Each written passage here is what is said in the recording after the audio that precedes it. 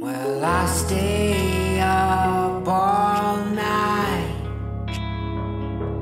like a moth to the light, and I stand.